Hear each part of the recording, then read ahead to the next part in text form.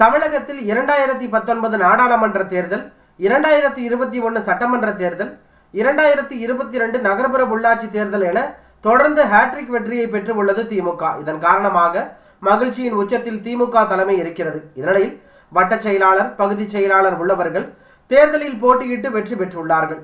நகர்ப்புற உள்ளாட்சி தேர்தலில் தங்களது மனைவிகளை கவுன்சிலர்களாக வெற்றி பெற வைத்து நகரமன்ற தலைவர்கள் அல்லது பேரூராட்சி தலைவர்களாக ஆக்கியுள்ளார்கள்.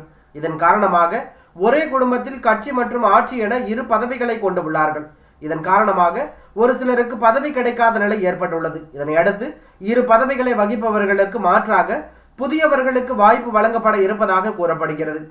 இதற்கான யோசனையை திமுக துவங்கியுள்ளதாக கூறப்படுகிறது. இதன் முதன்கட்டமாக திண்டுக்கல் மாவட்டத்தில் இரு பதவிகளை வைத்து இருப்பவர்களை ராஜினாமா செய்ய அமைச்சர் ஐ. பெரியசாமி உத்தரவிட்டுள்ளதாக கூறப்படுகிறது. ஐயம்பாளையம் பேரூர் செயலாளராக செயல்பட்டு வரும் ஐயப்பனை பதவியை ராஜினாமா செய்ய வைத்து தங்கராஜ் என்பவருக்கு பேரூர் பொறுப்பாளர் பதவி வழங்கப்பட்டுள்ளது. இதேபோல கன்னிவாடி பேரூர் செயலாளர் சண்முகத்தை ராஜினாமா செய்ய வைத்துவிட்டு இவருக்கு பதிலாக இளங்கோவன் என்பவருக்கு பொறுப்பாளராக நியமிக்கப்பட்டிருக்கிறார். திண்டுக்கல் மாவட்டத்தில் தற்போது எடுக்கப்பட்டுள்ள முதல் கட்ட நடவடிக்கை தமிழகம் முழுவதும் விரைவில் நடைமுறைப்படுத்தப்படும் என கூறப்படுகிறது.